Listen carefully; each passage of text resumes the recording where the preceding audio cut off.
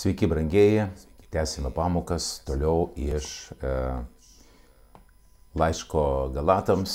Ir šiandien mes nagrinėjame jau trečią skyrių ir prasideda įdomus dalykai. E, koncentratas tikrai ir e, pakankamai sudėtinga tema, pakankamai gili, todėl e, aš visus raginu, kad mes būtume labai dėmesingi, sukoncentruotume dėmesį į, į pamokas šitas ir jeigu jūs kažką tai išgirstate ir praktiškai pagaunate tai paviršutiniškai kažką tai, aš jums rekomenduoju padaryti taip, stabdykite video ir apmastykite žodį. Nes jeigu jūs kažko nesupratot, eina kita mintis, jūs susimastote ir galvojate apie šitą sakinį kažkokį, o ten jau mintis nuėjo toliau ir, ir, ir taip gali būti, kad pamokėlė kažkaip paviršutiniškai nuėjo. Nes a, iš tiesų bus daug tokio koncentrato ir ne tik iš laiško galatams, bet laiškas galatams tam tikros temos, jos sužadina ir kitų, kituose laiškuose parašytas temas Todėl tai yra tam tikras kompleksinis pamokymas. Tai va, tai, tai tiek. Arba dar iš naujo per, per, perklausyti pamokėlį iš naujo. Nors tai, ką aš sakysiu, dalykai iš tiesų yra nenauji mūsų ausiai girdėti, bent jau tekstas tikrai girdėtas, bet e, pagauti tą esmę pačią, esenciją, tai iš tiesų svarbu. Gerai, Tai dabar einame į tekstą. Taigi skaitau, skaitau Galatams trečias skyrius, pirma eilutė. O neprotingi Galatai. Kas jums, kuriems akivaizdžiai buvo nupieštas Jėzus Kristus, tarsi pas jūs nukryžiuotas, apkerėjo, kad nepaklūstumėte tiesai. Aiškiai, apkerėjo, kažkas jūs užbūrė, e, užbūrė, kad nepaklūstumėt tiesai. E, kokia tiesa buvo? Jis tiesa buvo ne tik sakoma, ne tik sakoma, bet ir paaišoma, vaizdžiai parodoma. Dabar, kai mes pamokslaujame, kai mes mokome, tai mes paaišome paveikslą nematomų dalykų, bet tikrų. Paaišome paveikslą ypač e, paveikslo to, ką padarė Jėzus paveikslą e, jo mirties, ką reiškia ta mirtis, ką reiškia ta mirtis ant kryžiaus.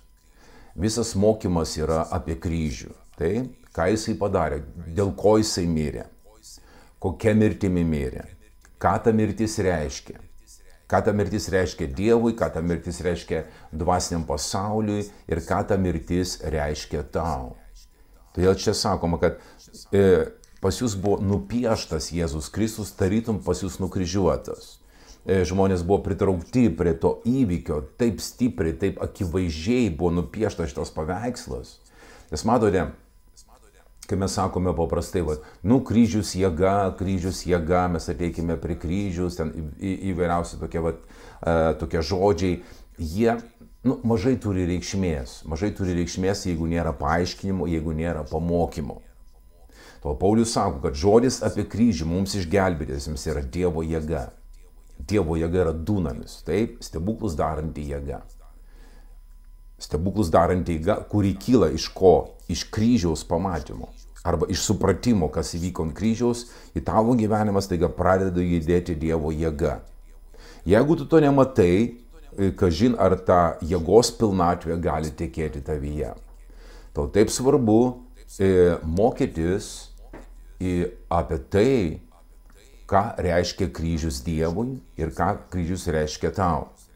Nes mirtis ant kryžiaus yra tokia svarbi, kad Jėzus sako, kad mes turime dalyvauti viešpatės vakarienė, duonos laužime arba komunijos tarnavime, įvairiais pavadinimais yra šitas tarnavimas, kuris mums yra paliktas.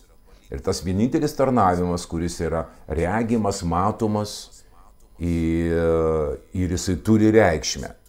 Arba, kaip Paulius sako, tai darydami, dalyvaudami duonos laužime, dalyvaudami viešpatės vakarienėje, mes minime viešpatės mirtį. Taigi mes sakome, jisai mirė. Mes tuo, tuo reiškia, veiksmu sakom, jisai mirė. Nu tai ką, mirė ir mirė, miršta žmonės. Reiškia, mes tu liūdėm, kad jo mirtis, kad jisai mirė ir kad jo mirtis kažką reiškia mums. Samat, Paulius toliau sako, pavyzdžiui, kolosiečiams laiške pirmam skyriui sako, kad kai mes buvom priešiški savo protos ir piktais darbais, uh, Dievas jo žemiško kūno mirtimi, žemiško kūno mirtimi, iš tiesų originalė jo mėsinio kūno mirtimi. Kad nebūtų kažkoks čia, suprantat, interpretacijos, čia kažkoks tai dvasia ar kažkas, žinai, mirė iš tiesų, gal jis ir nemirė ir visokie kiti dalykai. Ne.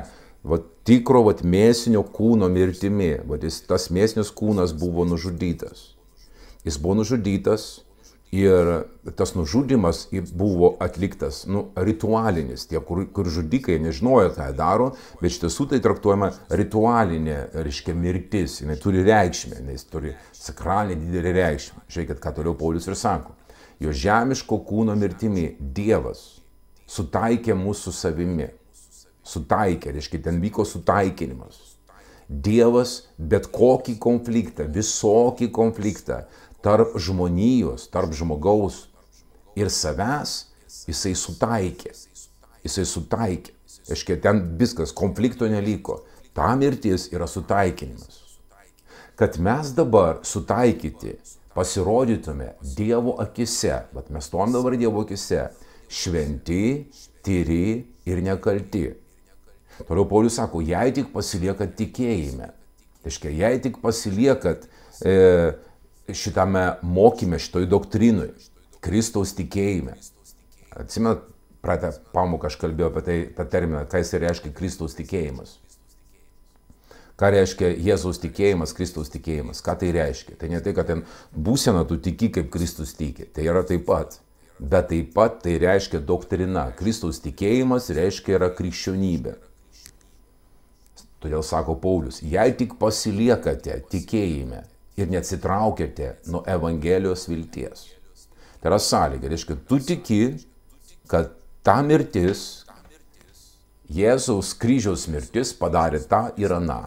Tu pradedi tikėti ir tada tu akivaizdoj, Dievo akivaizdoj patiri jo malonę, kuri atneša į tavo gyvenimą e, šventumą, Tai yra atskirimą tam tikrą, tu atskirtas nuo viso pasaulio sugedusios sistemos, tu esi atskirtas Dievo tikslams, tu esi Dievo žmogus, dedikuotas jam, atskirtas jam.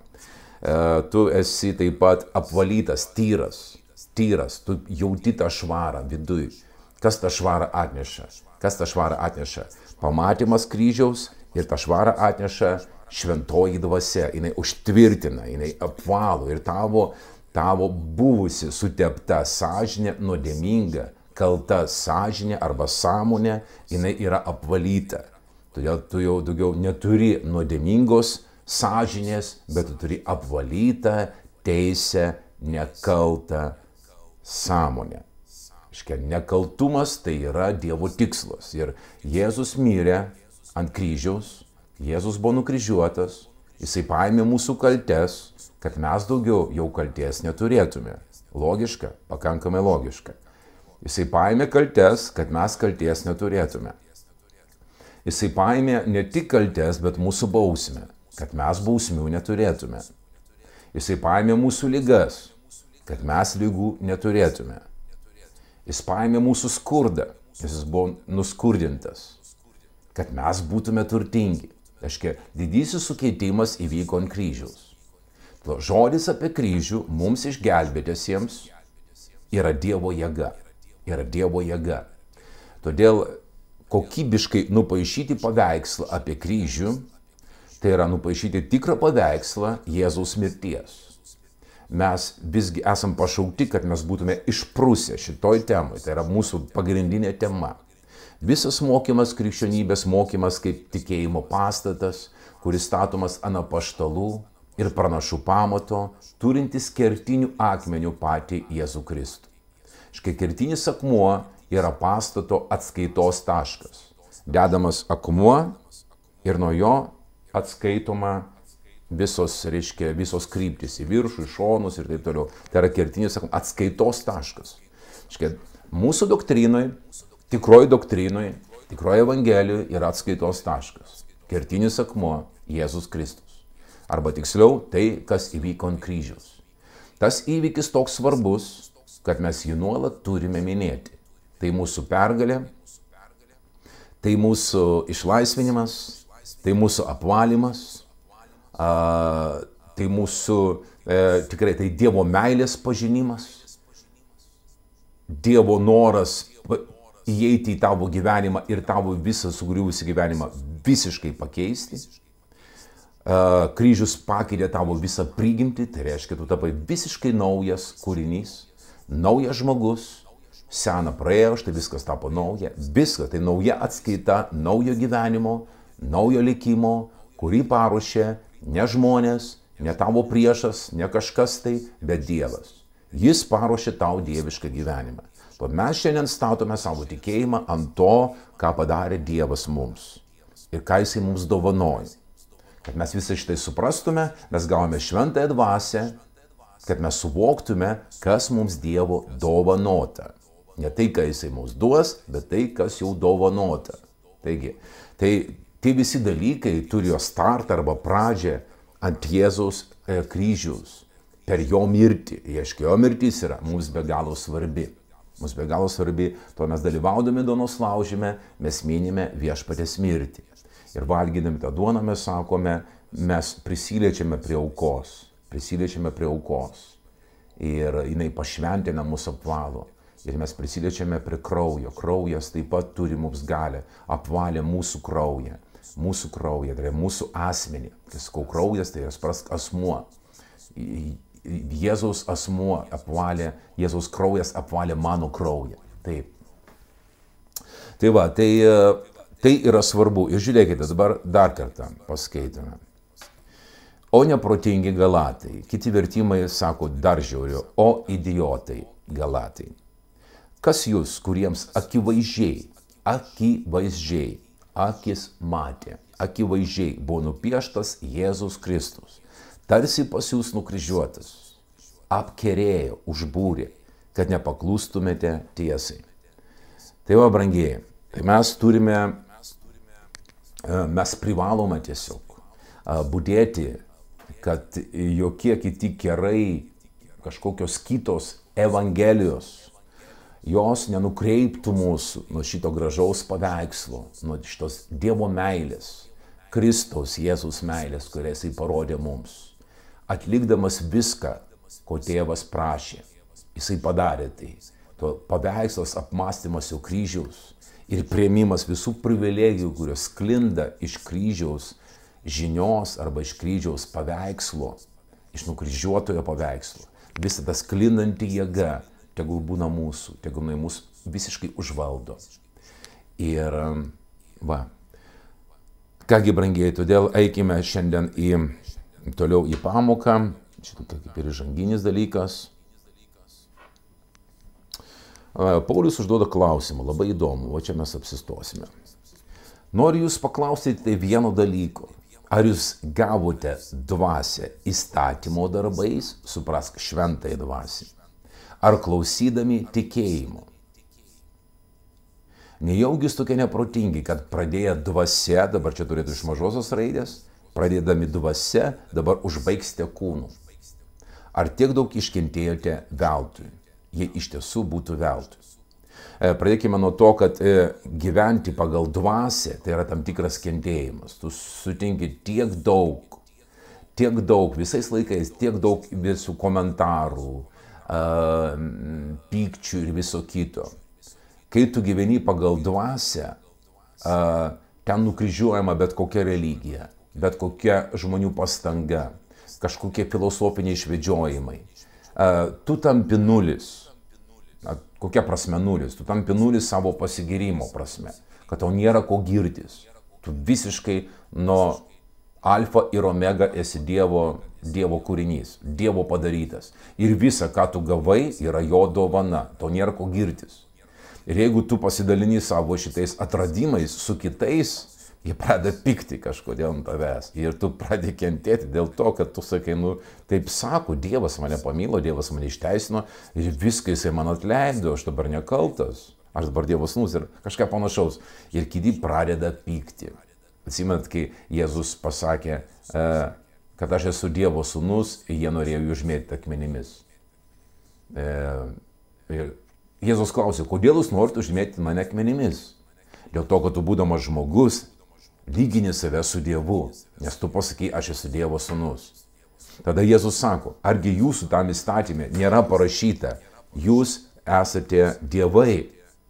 Ir šiandien, va, vienas prie vieno tu gali cituoti ir šiandien susilauksi, susilauksi tos pačios reakcijos kaip prieš 2000 metų. Tu sakai, raštas sako, mes esam dievai.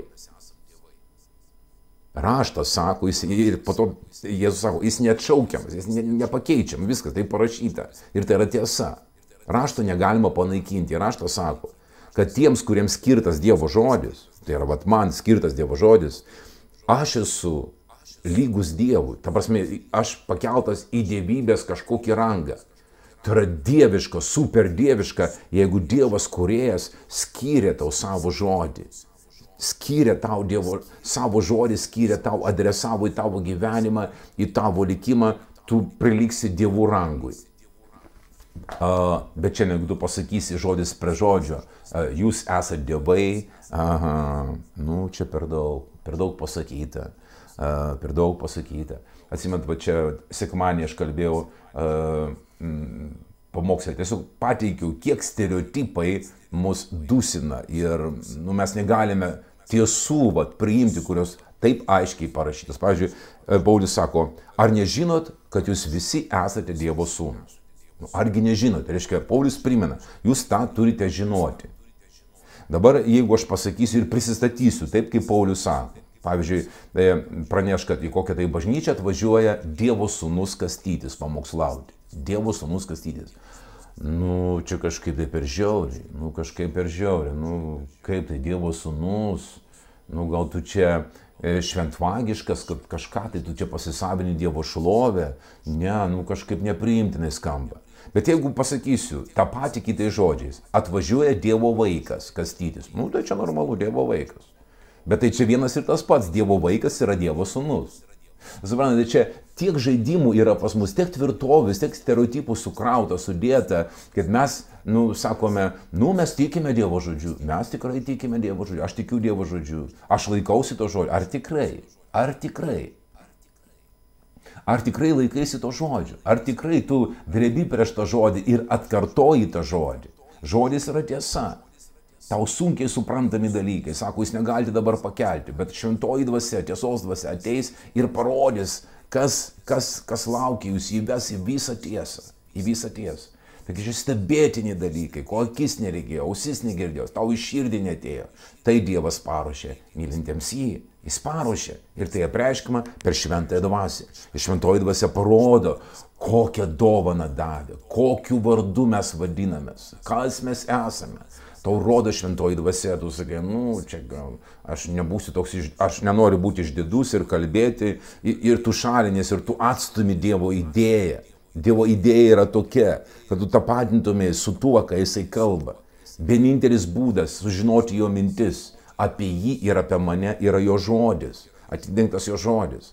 Ir jeigu tu šitą vienintelį būdą atstumi, tu neturi šansų sužinoti, kas tu esi iš tiesų kas tu esi iš tiesų, o iš tiesų tu esi tas, ką žodis sako, tu esi. Tai va, tai, uh, uh, tai yra svarbu, tai yra svarbu. Ir dabar žiūrėkite, va tas va kentėjimas, jo mes čia kalbėjome apie tai, ar tiek daug iškentėjote veltui? Ar tiek daug iškentėjote veltui? Reiškia, jie iškentėjo ir po to veltui. Kažkas atėjo, kažkas juos apmovė, apmaustė, nežinau kaip čia pavadinti, vienu žodžiu, išdūrė. Va, išdūrė gerai.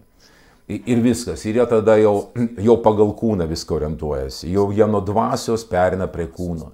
O kur yra kūnas, jis nieko neteikia. Dvasia teikia gyvenimą, kūnas nieko neduoda. Kūniška bažnyčia, šventa, religinga, bet kūniška. Dvasios atgaivos nėra, malonės nėra. Visi akmeniniais veidais, religingi, pagal kūną. Jie viską vertina pagal kūną. Tai va, skonijaugis tokia neprotinga, kad pradėjo dvasia užbaigsite kūnų, pradėjo gyvenimu, pabaigsite mirtim. Pradžia buvo gera, bet po to kažkas tai atėjusių gyvenimą, kažkokie pamokslininkai, kažkokie pamoksliuką kažkokį paklausėte ir užgesote. Ir pasmerkimas atėjo ir viskas. Subirėjo karalystė, subirėjo optimizmas ir pasirodo, netaip čia ir lengva išsigelbėti. Pasirodo, čia daug sudėtingiau, negu aš galvojau. Tai va, nu ir viskas, ir tu paskesti kažkokioj ten pliurzai. tai va, tai gerai, tai dabar eikime prie to klausimo. Prie to klausimo, dar kartą vat, paskaitome, žiūrime. Noriu jūs paklausyti tik tai vieno dalyko.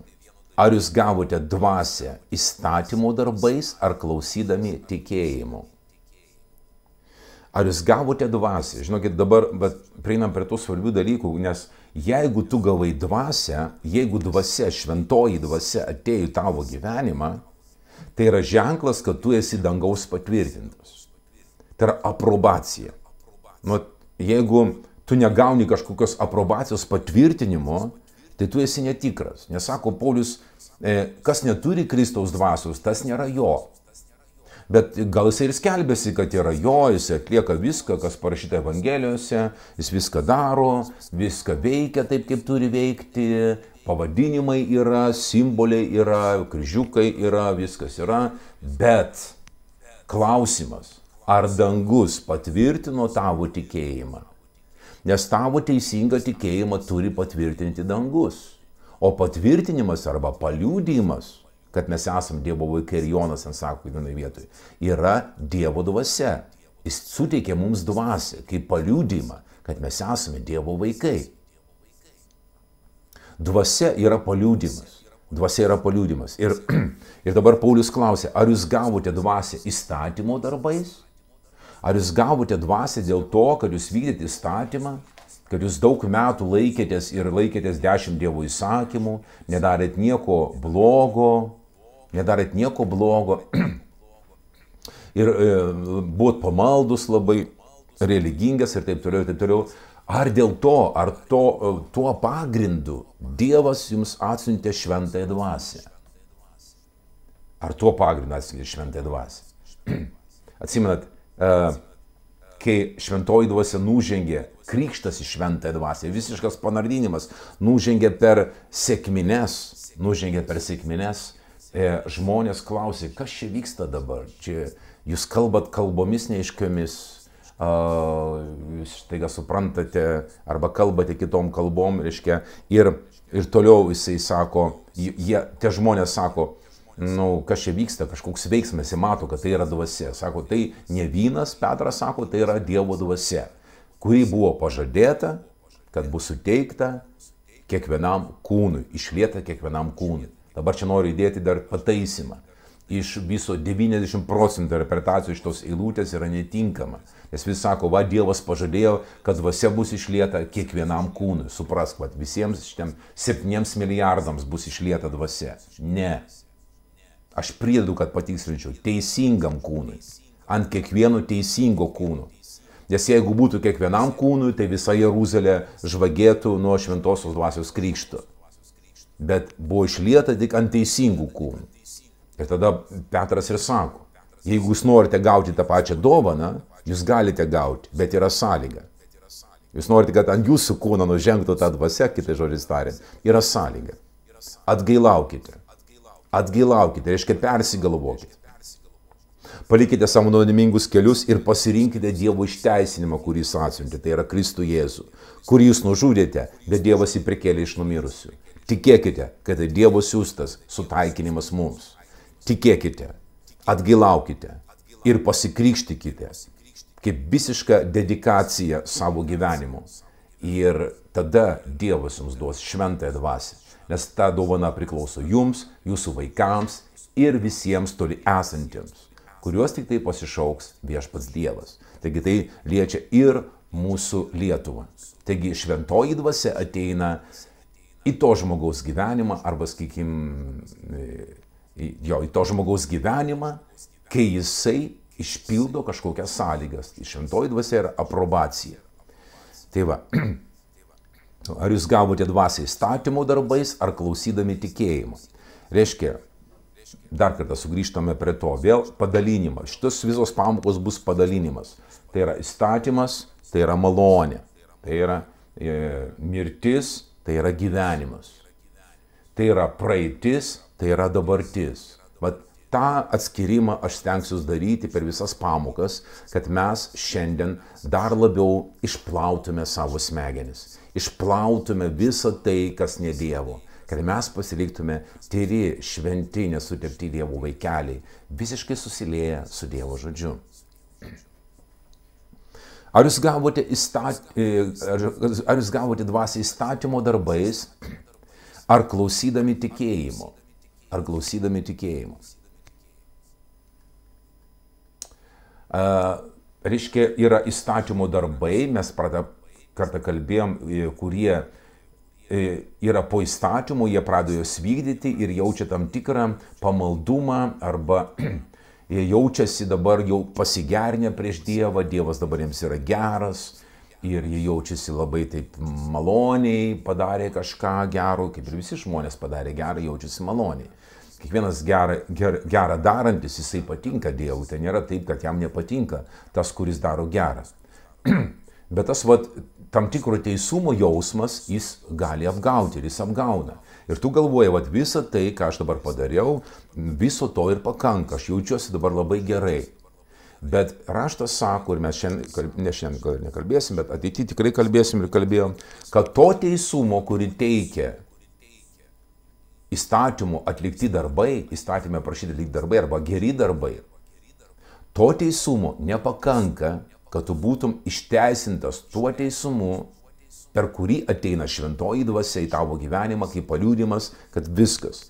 Tokį teisumą tu pasiekiai ir tu susilieji su Dievo teisų pasauliu. Arba kad tavo tas teisumas atgimdė tave į Dievo šeimą. Tu gimsti į Dievo šeimą, tu tiek paveiktas apvalimų, tu gimsi Dievo šeimą. Taigi tai yra įstatymo darbai, kurios daro, kurios vykdo ir tai darydamas jis tuo gyvens. Nu, gyvybė, gyvenimą bent kokį pajaus. Ir kitas dalykas yra, kita žinia yra tikėjimas arba klausimas tikėjimo. Vat, tikėjimo, vat, ar klausydami tikėjimo. Matot, aš dar kartą jums čia parodau iš tos eilutės, kad tikėjimas turi dvi prasmes. Tikėjimas kaip vat, būsena tavo, taip, tikėjimas. Ne? Ir kaip doktrina. Vat, matot, čia vėl jis sako, ar klausydami tikėjimu. Iškai tikėjimo žinios arba doktrinos arba evangelijos. Tai va. Reiškia, žmogus klausydamas Evangeliją, klausydamas e, ir girdėdamas apie kryžių, apie Jėzų, apie jo mirtį, kokią prasme turi, jis pradeda tikėti. Atsiprašau.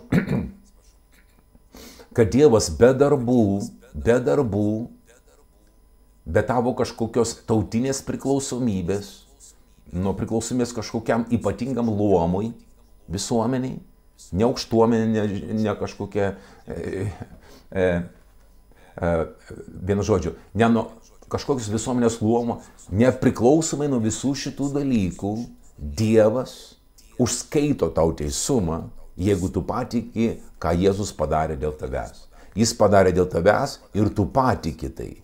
Tu nieko nedarai, nieko nedarai, teisumui, tu tik patiki, tu priėmė šitą tiesą, tu įsileidi tai į savo širdį, įsileidi pamatęs Dievo meilę, pamatęs, ką Jėzus padarė, tu įsileidi savo širdį.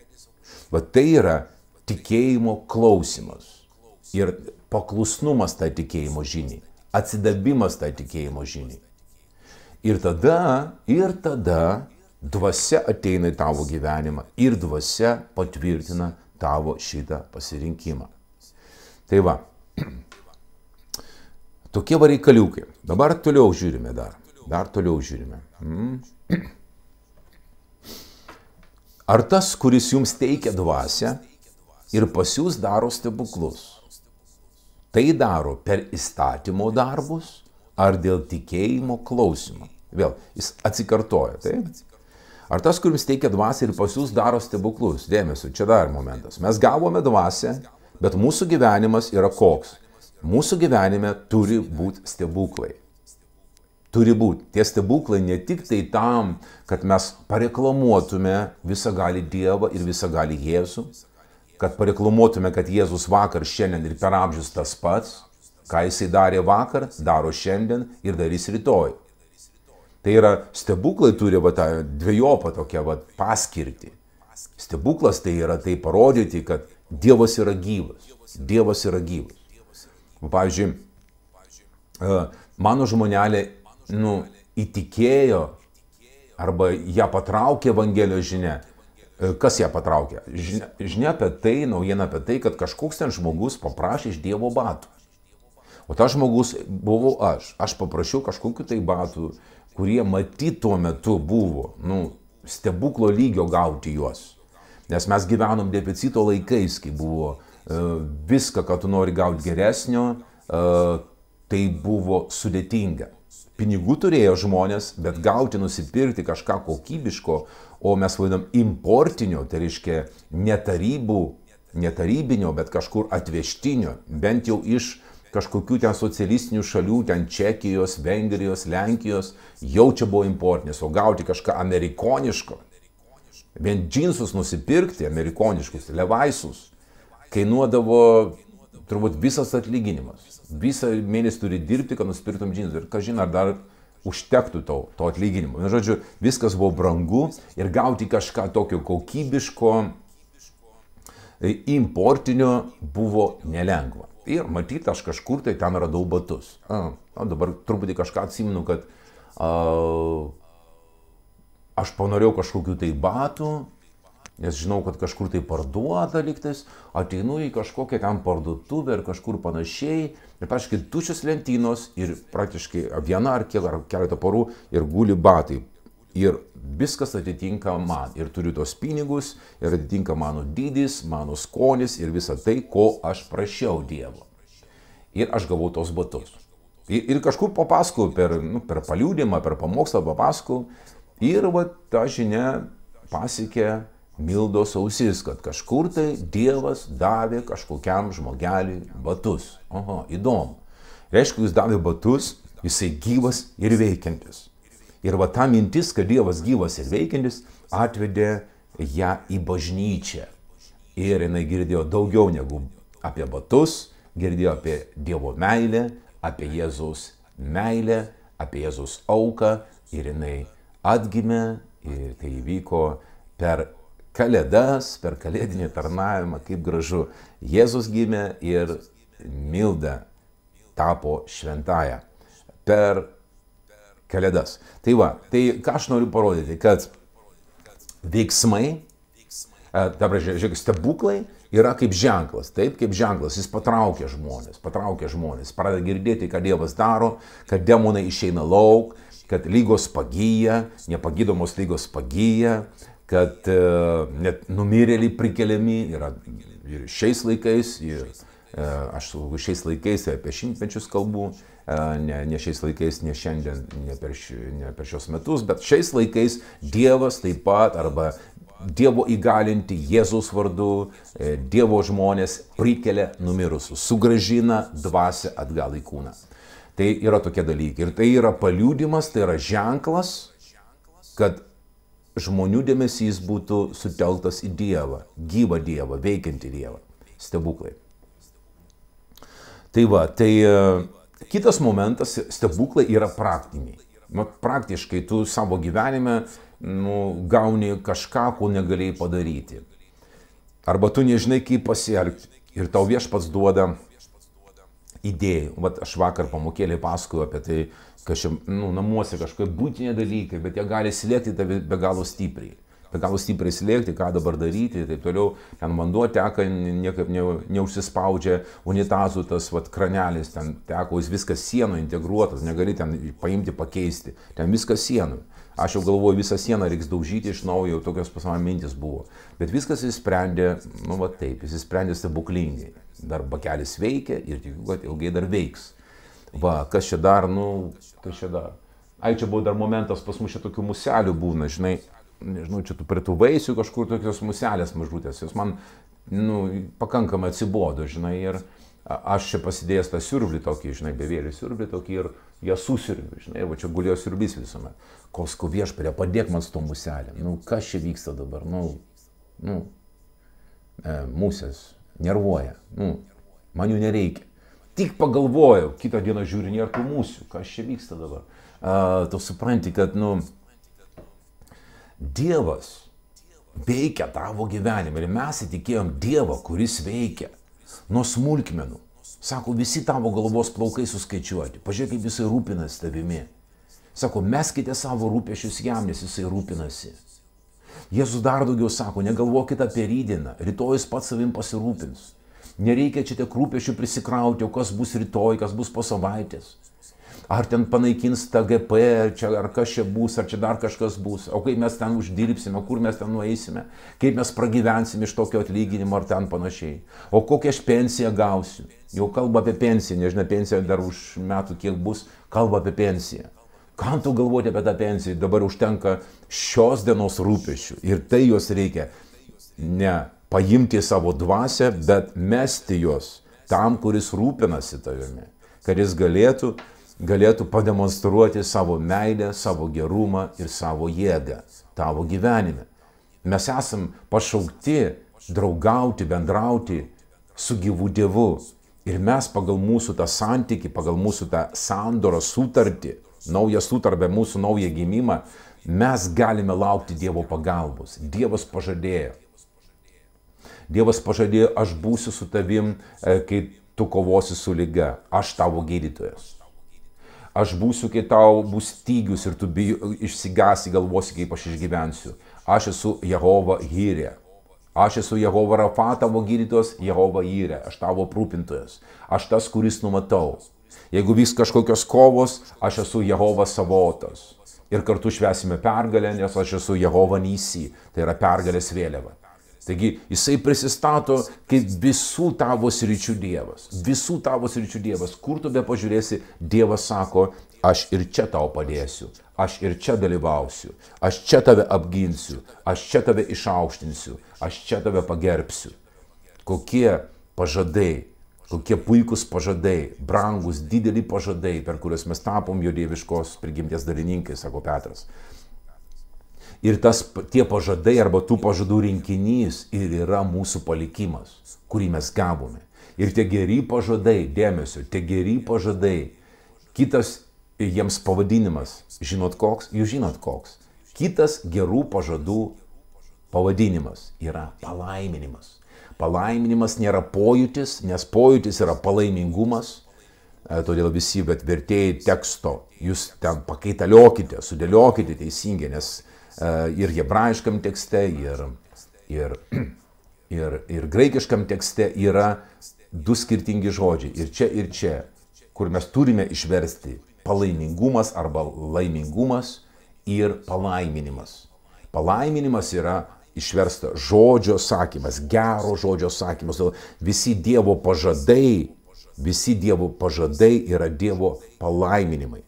Yra Dievo palaiminimai. Ir tai tie palaiminimai ir yra mūsų palikimas. Ir yra mūsų palikimas. To, tie žodžiai nėra tušti, mes juos suprantame, mes ateiname pas tą, kuris pažadėjo, mes žinome, ką jis pažadėjo ir mes žinome, kad jisai ištikimas e, savo žodžius. Ir mes laukiame, kad tai, ką jis pažadėjo, jisai tai ir padarys.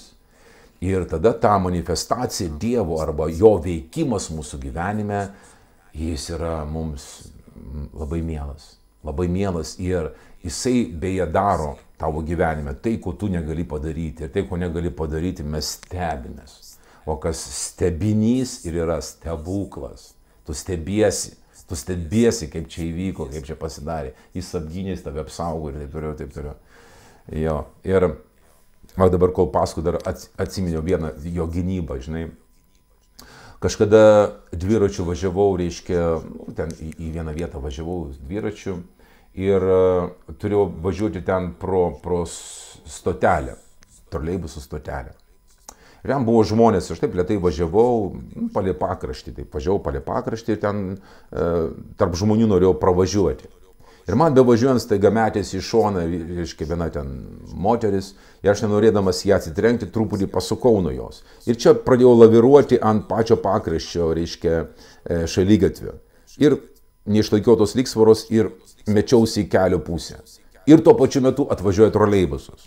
Tuo pačiu metu aš ne, nemačiau jo.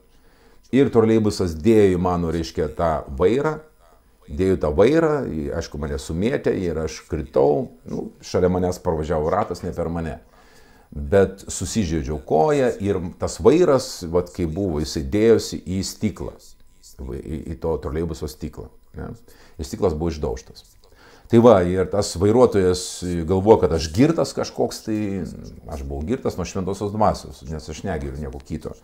Tai va, tai e, jisai net nepadėjo man, neišėjo, žmonės man ten padavė kažkokiu pleistrų, nes pradėjo kraujas ten tekėjo, aš sudaužytas buvau. Ta žmogus parodė savo negeriausias savybės ir vairuotojas, turiu omeny. Ir po to jis iškvietė policiją ir, ir, ir girdėjau, kaip kalba su policija, sako, matyt, čia girtas kažkoks, tai nėrės į gatvę ir tai turiu. Nu, žodžiu, ten buvo tokia, nu, sakykime, situacija, kur aš galėjau ten irgi reikštis ir galbūt kažkokiais teismais ir kažkaip ir taip toliau, bet aš sakau, tiek to, aš atleisiu jam, sudaužytas, tai jis man, man net nepasakė kažkokios užuojoto žodžio, sakau, tiek to, tiek to, žinai, Na, atleidžiu jam. Nu ir ten surašė, reiškia, policininkai. Policija surašė visą tą įvykį. Ir, ir taip toliau, ir taip toliau. Ir žinot, viskas taip įsiskyrė mane. Praeina metai. Metai praeina ir aš gaunu laišką iš troleibusų parko. Sako, tu toks ir toks, taip. Sako, jūs turite sumokėti už sutaisytą stiklą. Tai sakau, jūs čia rašote po metų? Taip, nes iš policijos mes gavom čia visai nesenai tą, reiškia, protokolą. Įdomu, policija dar po metų gauna protokolą. Turbūt daug darbo turi. Sako, jūs turi sumokėti už stiklą. Sakau, nu, klausykite, įvyko nelaimingas atsitikimas ir jūs dar norite iš manęs dar, dar mane nuskriausti. Jūs mane nudaužėte ir dar norit mane nuskriausti. Ir beje, aš tikiu, kad jūs esate apsidraudę ir jūs tikrai jau tą stiklą sumokėjo draudimas. Nes tai, nu, nelaimingas atsitikimas, tai nebuvo, kad aš užpoliau, ten trenkiau ir taip toliau, ir taip toliau.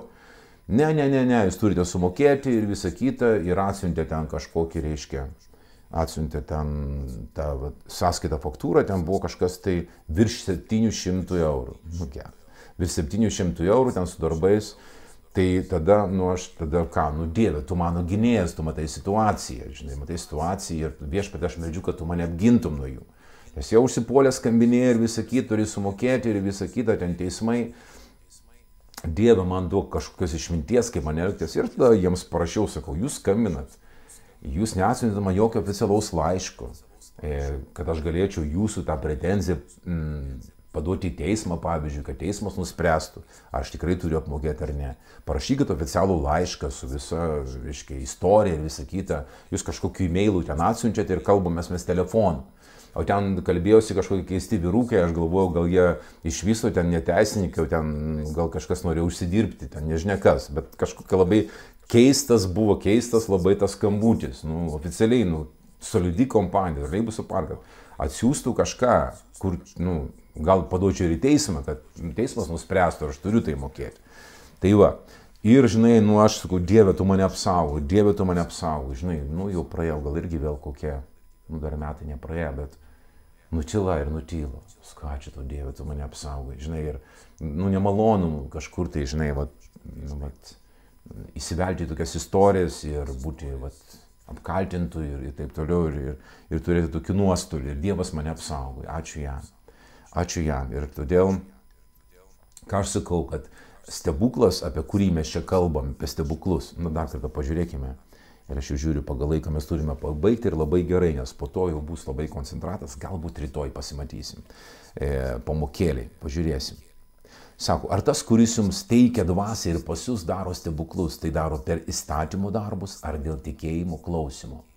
Reiškia, jeigu mes laukime stebuklų, bet kokių stebuklų, mes laukime Dievo veikimo, kitai žodžiais tariant, nes jo veikimas yra stebuklas.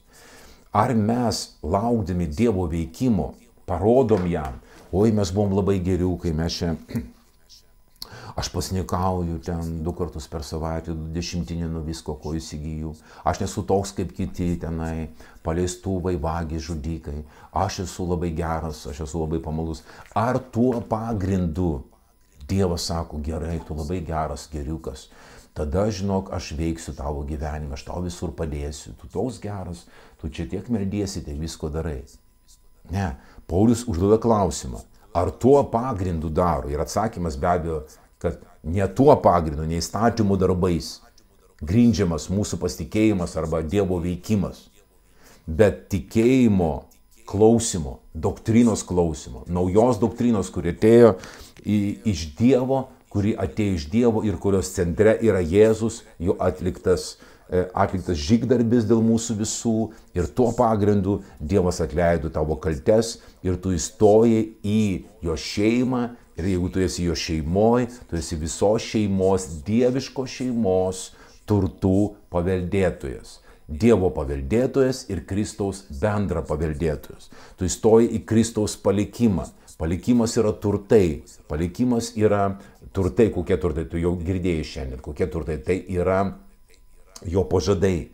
Ir tai yra mūsų dalis. Ir mes šiandien turime tai, ką Jėzus turi, mes galime tai, ką Jėzus gali ir mes esame, kas Jėzus yra. Kas Jėzus yra, mes esame. Mes esame Dievo vaikai ir Jėzus tapo mūsų vyriausių brolių ir mes esame Dievo šeimos dalis ir mes dalinamės Dievo turtų, reiškia Dievo šeimos va tais turtais. Šventųjų palikimas šviesoje. Šventųjų palikimas šviesoje. Tai mes turime. Ir tuo pagrindu mes drąsiai sakome Dieve, mes nerodome į savo darbus, kiek mes ko atlikome, tai jam neįdomu, tai jam neįdomu, galbūt tau įdomu, tau pasigirti, pasikelti, kad aš čia toks esu labai pamaldus. Gal žmonėms įdomu, kad jie galėtų pamatyti ir tave pagirti, bet Dievui tai neįdomu. Jis ne tuo pagrindu daro stebuklus. Va šitas žodis stebuklus e, yra šimta procentų žodis dunamis. Pas jūs daro stebuklus. Aš net nežiūrėjau, bet aš tai, čia yra dunamis. Ir pas jūs daro dunamis. Tas žodis dunamis tai yra stebuklus daranti jėga. Stebuklus daranti jėga. Kada mes paduoja per tikėjimą, per paklusnumą tai žiniai, kurią tu girdi. Per evangelinę žinią. Tu paklūsti tai žiniai. Tu formuoji savo matymą tai, kad Dievas duodantis ir neprikaištaujantis. Ir duoda tai, ko tau reikia tavo gyvenime. Tai va, brangiai, tai visą tai, ką mes kalbame ir kalbėsime iš laiško, e, reiškia, Galatams ir kitus laiškus įterpsime, romiečiams dar, bet kitą kartą įterpsime. E, Visą tai, ką mes sakome, čia yra daugiausia kalbama būtent apie tai, apie sąlygas. Kokiomis sąlygomis dabar Dievas bendrauja su tavim ir kokiomis sąlygomis Jisai tau padeda ir veikia tavo gyvenime. To čia daug bus kalbama apie sąlygas. To, tas, kas sena, turi jau praėjo, tos sąlygos jau neveikia, tai yra uždaryta. Tos taisyklės jau neveikia. Tu negali žaisti krepšinio futbolo taisyklėm. Ir futbolo negali žaisti krepšinio taisyklėm. Skirtingi žaidimai, skirtingos taisyklės. Skirtingi laikai, skirtingos taisyklės. Tas laikas buvo tikrai rėmėsi tavo darbais. Šis laikas remiasi ne tavo darbais, bet Jėzaus darbu. Šis laikas yra malonės laikas. Tai va, ir tada, kai tu žinai tą sąlygą, tu lauki, kad Dievas pradėtų veikti. O mūsų Dievas yra veikiantis. Aš tikrai noriu parodyti jums Evangeliją ir tu ją tikrai žinai, kad Evangelija yra veiksmų, Dievo veiksmų knyga. Mes nesam tokie kaip kažkokie musulmonai, kurie tik tai tiki, tik tai kažką daro, kad užsitarnautų rojų. Arba dar kiti jehovistai, kurie sako, mums reikia liūdyti ir liūdyti ir liūdyti. Jehova liūdyti, kad mes pasiektume dangų. Kitaip mes be šansų. Ta prasme, mes negyvenam dėl dangaus, mes jį jau turime. Su tavo naujų gimimu viskas. Tu jau turi dangų, tavo vardas užrašytas gyvenimo knygoje danguje. Tu jau turi dangų. Mes gyvename su Dievu, kad matytum jo pagalbą, jo veikimą ir taip mes parodytume gerą reklamą Dievo karalystėje. Ir vad, kad jisai veiktų, vad mes ir gilinamės ir tai ir žiūrime, kas sustabdė Dievo veikimą, kas stabdo iki šiol Dievo veikimą stebuklingą. Gal mes kažkur padarėme kažkokių klaidų, gal mes įnešėm kažkokią kitokią evangeliją, gal mes mokomės iš geros evangelijos ir kitokios evangelijos. Gal pas mus yra kažkoks miksas, nesuprasi kas. Tai va, tai tam ir skirtos šitos pamokos, kad mes vieną kartą visiems laikams atskirtume tai, kas sena ir gyventum tai, kas nauja, tai, kas dabar. Kągi šitoje vietoje noriu atsisveikinti su jumis ir tikrai džiaugiuosi, kad e, mes einame vis giliau ir giliau į šventosios dvasios temą, į Dievo temą, į Dievo idėją. Todėl e, visus kviečiu prisijungti prie kitų pamokų, o šį kartą pasadykite like, parašykite savo komentarą ir pasidalinkit šito kanalu su kitais. Ir be abejo ir patys susiprenumeruokite. Taigi atsisveikinu su jumis kitų kartų su Dievu.